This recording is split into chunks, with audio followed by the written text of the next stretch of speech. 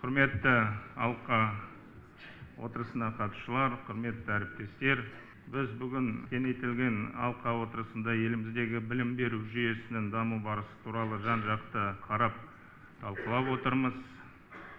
Мемлекет басшысы өзінің ұзақ мерзімдік стратегиялық бағдарламасында қазақстан әлемнің дамыған отыз елінің қатарында болу тиіс деген мақсат қойды. Оны өздеріңіз жақсы білесіздер.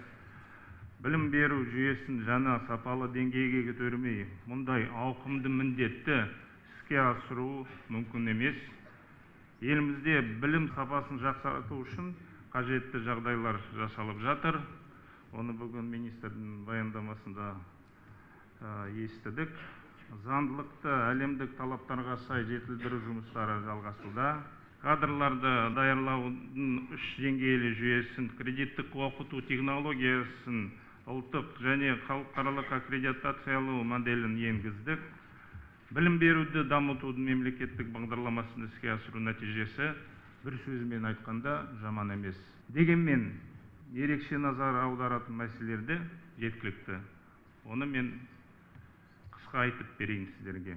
Уважаемые участники коллеги уважаемые коллеги мы все прекрасно понимаем какое значение имеет образование в жизни каждого общества мы будем говорить сегодня о нашей системе образования. Мы прекрасно понимаем, от образования зависит конкурентоспособность нашей страны и ее будущее. А конкурентоспособность нашей страны, конечно же, зависит от конкурентоспособности каждого гражданина.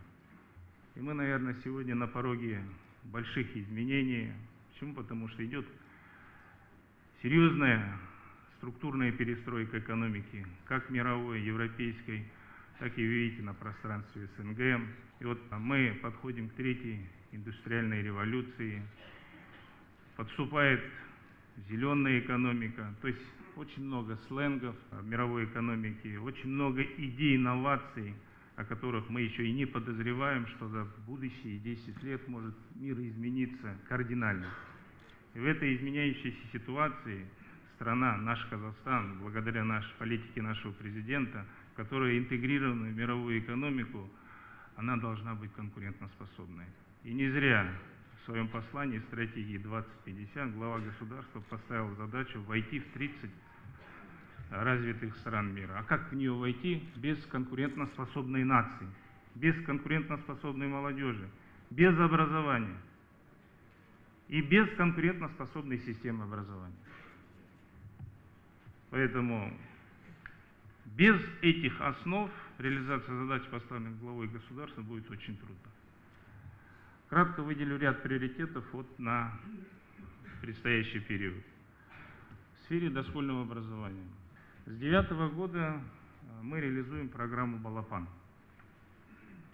Очень много, конечно, сделано, мы все это видим. С 38, насколько мне память не изменяет, процентов почти в два раза увеличился охват наших детей в дошкольных учреждениях. Мало ли это или много? Конечно, в разных регионах оно по-разному. К примеру, в Кустанае почти 100%, в Карагандинской области 98%, в Павлодарской порядка 95%. Есть области, которые чуть больше 50%, порядка 60%. Но в среднем в стране сегодня охват дошкольным воспитанием и дошкольным образованием охвачено 71%. Я еще раз задаю вопрос себе и вам, много ли это или мало? Я считаю, мало. Вообще, желающие родители, а их большинство, которые хотят воспитывать наших детей в дошкольных учреждениях, детских садах, должно быть охват 100% и даже больше. Почему? Потому что охват это одно, Далее требуется методика, уровень воспитания в детских садах. И здесь должна быть, конечно, конкурентоспособность. Если у нас будет охват достаточен, то детские сады, независимо от формы собственности, они должны конкурировать между собой за каждого ребенка. Вот сейчас, вот, к сожалению, я не был на коллегии Министерства здравоохранения вчера. То есть единая система здравоохранения предусматривает уровень качества лечения. То есть деньги на лечение будут идти там, где больной выберет себе лечебное учреждение. Поэтому и в дошкольных учреждениях, я думаю, здесь должна быть тоже конкурентоспособность. Но мы ее, наверное, будем о ней говорить, когда охват будет более 100% в нашей стране. В процессе обеспечения детей дошкольными учреждениями имеется хороший опыт. Как этого достичь? Вот я имею в виду охват. Это государственно-частное партнерство. Опыт достаточно есть. Это и подушевое финансирование, его составляющие государственно-частного партнерства. Это финансирование, софинансирование из республиканского бюджета, местного бюджета и, конечно же, плата родителей за питание, ну и какие-то возможные издержки. Вот в комплексе такой механизм есть у нас в стране, в Казаларде, я знаю, в других областях. Вот этот опыт нам нужно будет брать, применять и развивать. То, что есть. Второе, надо развивать сеть частных детских садов, дошкольных учреждений. Для этого, конечно, нужно стимулирование создать привлекательность для а, создания новых детских садов и дошкольных учреждений. Сейчас в парламенте правительство внесло изменения в закон о концессиях, государственно-частное партнерство. Я думаю, что очень много новых положений, которые будет иметь этот закон, позволит, позволит все-таки инвесторам взглянуть по-другому, в том числе и на социальные объекты. Поэтому задача правительства, министерства в первую очередь и, конечно же, Акимов – активно встать и решать вопросы стимулирования, привлечения инвестиций в строительство дошкольных учреждений. Это очень и очень важно.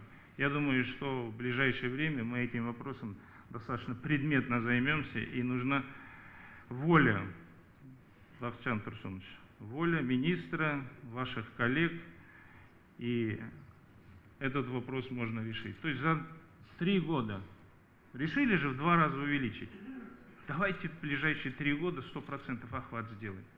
Тем более такое поручение у вас непосредственно есть главы государства. Охват детей дошкольным образованием, как я говорил, будет решаться, но теперь надо уделять особое внимание воспитанию и методике подготовки к школе.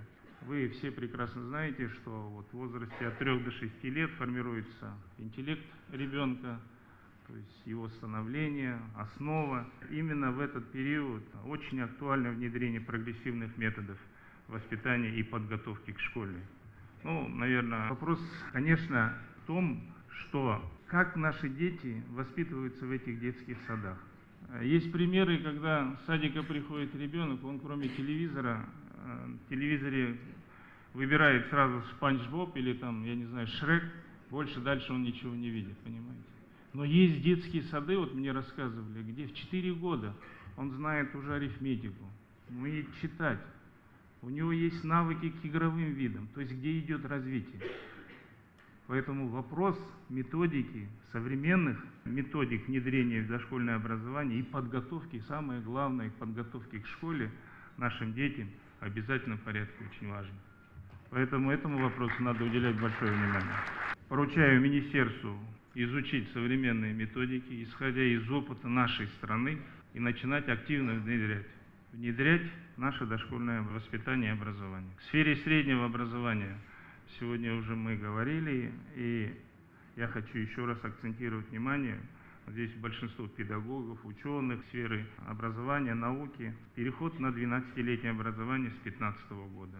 Вчера казалось, времени у нас достаточно. Сегодня мы уже видим, что времени мало. 15 год не за горами. К этому времени должны быть решены очень многие вопросы, особенно подготовки педагогических кадров, о чем говорила Дарига Нурстановна. Инфраструктура, материально-техническое обеспечение наших школ. Это одно. Второе, мы должны все-таки всем взяться и снять проблему трехсменного образования и аварийных школ. К сожалению, у нас это есть, это связано, конечно же, и с демографическим приростом населения. И поэтому мы в тех регионах, где это существует, будем активно решать эти вопросы. И нам надо в ближайшее время, и при том существенно, решать эту проблему. Но не за счет той оптимизации, которая вот э, проводилась, которую мне показывали в Южно-Казахстанской области, что вот больше миллиарда стоит школа, Они ее соптимизировали, школа стала, стала стоить 500 миллионов тенге. Вот, быстро ее построили, ввели к 1 сентября. Заходим в школу, туалета нет, актового зала нет, спортзала нет. Вот они соптимизировали. Коридоры и классы. Что за школа? Такой оптимизации, конечно, нам не нужно. Ну, по крайней мере, туалет и актовый зал со спортзалом должны быть. Не надо бассейн. Но основа, основа в школе должна быть, понимаете? Тем более, где мы и в каком времени мы сейчас находимся. Очень интересный опыт есть повсеместного распространения, конечно же, образование и качество образования сельских школ, конечно же, вызывает критику, с ней надо соглашаться. Это зависит, конечно, о чем я говорю, от э, кадров, педагогических кадров, особенно в малонаселенных сельских округах. Поэтому здесь я знаю хороший опыт, э, опыт э, создания опорных пунктов, где дети раз в квартал на 10-2 недели выезжают в опорные центры, в города или в райцентры, где находятся эти опорные пункты и где проходит интенсивное получение образования. Очень интересный опыт есть, я смотрел его в поселке Шашубай, близ Балхаша. Такой опыт надо будет повсеместно внедрять, и об этом Министерство образования хорошо знает, его надо применять. Почему? Потому что, понятно, есть сельские населенные пункты, где 100 дворов, там, допустим, школа из 50 учеников, какое может быть образование дано, где не хватает учителей по специальностям. Глава государства дал поручение ввести у изучения английского языка с первого класса. Министерству надо уже с 1 сентября текущего года внедрять английский язык в школьную программу первого класса. Поэтому этот вопрос будет на особом контроле правительства. Надо широко использовать опыт Назарбаев интеллектуальных школ. Вот сегодня приводили в пример, почти 8 тысяч наших э, педагогов прошли курсы повышения квалификации по кембриджской системе.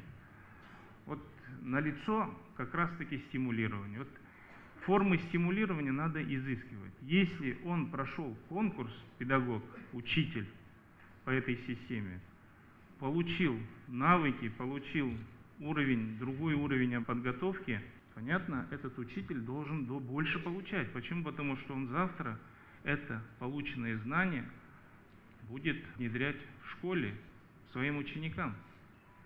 И поэтому мы к 2013-2015 году должны обучить 15 и далее увеличивать, Ербол Турмаханович, увеличивать подготовку наших педагогов. Давайте мы создадим другие центры, посмотрим, где можно будет сделать это. Есть же у нас прекрасные университеты, в которых можно сделать такие опорные пункты на базе самых передовых школ и начинать. Не только в Назарбаевом университете. Поэтому это важный вопрос, и педагоги должны получать в соответствии со, со своей квалификацией соответствующую заработную плату. С этого года в пилотном режиме мы будем опробировать механизм подушевого финансирования школ. Давайте посмотрим. Вот э, я полностью поддерживаю то, что Нария Нурсан сказала. Давайте мы хорошо изучим пилотно, посмотрим, как оно, а может быть наша методика, которая сейчас финансируется. Есть ли у нас такая возможность по душевому, я имею в виду исходя бюджета, Давайте пилотно посмотрим, внедрим год-два.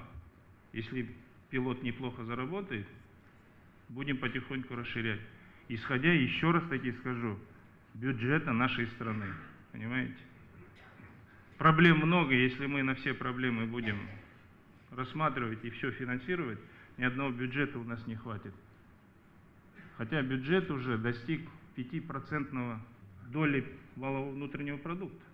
Это очень большой бюджет, я вам скажу, на сегодня. И мы будем продолжать увеличивать бюджет, особенно образования и здравоохранения. Это очень важные два наши отрасли. По техническому и профессиональному образованию. В рамках модернизации этой системы получает развитие дуальная система, но с этим кто не согласится. Если мы сейчас не будем готовить в рамках наших колледжей и профессионально-технических лицеев, людей, которые уже будут чувствовать этот станок или тот сварочный аппарат, одновременно получая теоретические знания, какой из него будет специалист? Его что, должны тогда в, на производстве повторно обучать? Поэтому дуальному образованию альтернативы нет. И поэтому мы будем э, внедрять элементы дуального обучения в более чем 100 колледжах нашей страны. Нужно активизировать процесс развития потенциала колледжа, ее материально-технической базы. То есть ее надо приблизить к реальному сектору производства. Вот самая главная цель. Теоретические знания дают, он в большинстве своем это в теории приходит, он не знает, как подступиться к сварочному аппарату или не говоря там о технологии сварки. Важная задача э, возложена на созданный холдинг Каспкор. Надо ввести в эксплуатацию четыре межрегиональных центра, которые будут осуществлять обучение по международным стандартам. Это будут центры, аналог будущего профессионально-технического обучения. Мы посмотрим, как они будут работать, их методы, их э, методики будем внедрять в другие наши системы профтехобразования. В сфере высшего и послевузовского образования Павшан Тарсунович скользко прошел по оптимизации вузовской системы. Я не знаю, насколько вы уже сократили количество вузов. За один год 10.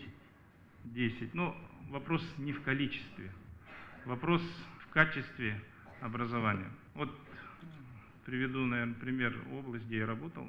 Вы знаете, города Караганды достаточно большой образовательный, научный потенциал. Пять крупнейших известных вуза – это Политехнический университет, Государственный университет, экономический, медицинская академия, высшая школа э, милиции, где обучаются достаточно большой контингент наших студентов.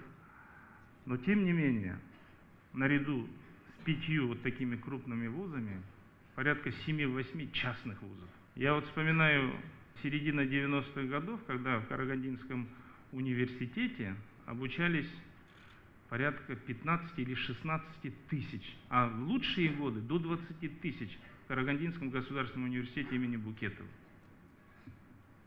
Сколько сейчас обучается? В таком крупном, будем говорить, а, университете с мощной базой, которая развивается с каждым годом, огромным потенциалом.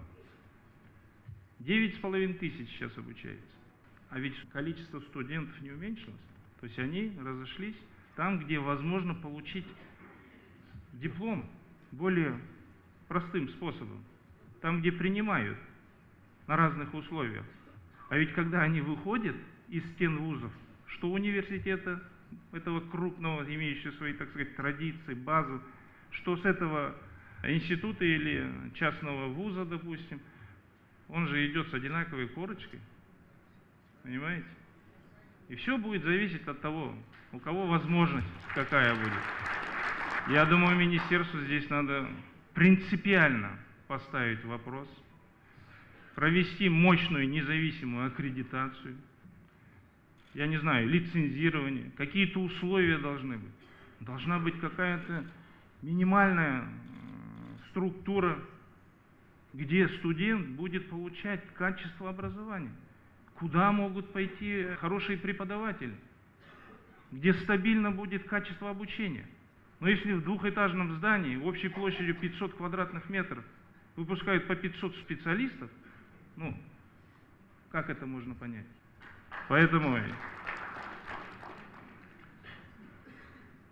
я поручаю министру образования Бахчан Турсуновичу вам внести в течение месяца предложение по оптимизации наших вузов. Это поручение главы государства, имейте в виду. Если взять к примеру, я вам скажу, вот, когда готовился, мы выписывали, я выписывал здесь, вот все равно надо обращаться к мировой практике. В Японии на 10 тысяч населения приходится 222 студента, в Германии 258, в Чехии 147, в Азербайджане 59, в Казахстане 377 студентов. Ну, во-первых, нам нужно еще учитывать реальные условия рынка. Нужны ли нам столько специалистов? У нас же перекосы были, помните? В начале э, независимости, где-то в первые 10 лет, больше готовили юристов, ну, других специальностей. Сейчас, конечно, в связи с государственной программой форсированной индустриальное инновационное развитие, многие наши молодые люди больше образовают на технической специальности, это, наверное, правильно. Почему? Потому что в них как раз сейчас наши новые заводы как раз таки и нуждаются. Я хочу еще раз подчеркнуть, э, что оптимизация не должна стать конечно же, самоцелью. Частные вузы нам нужны, но они должны быть мощные, с качеством образования. И все должно сводиться к одной цели. Выпустить хорошего специалиста, востребованного на рынке, который должен быть конкурентоспособным, о чем я говорил в начале своего выступления. И я думаю, что, Ербал Тармахан, что через месяц надо будет нам подготовить в течение месяца независимых экспертов вот, к тому предложению, которое министр подготовит по оптимизации наших вузов в системе высшего образования. Нам нужно транслировать опыт Назарбаев университет в вопросах корпоративного управления, создания попечительских советов, системы партнерств с зарубежными вузами и работодателями.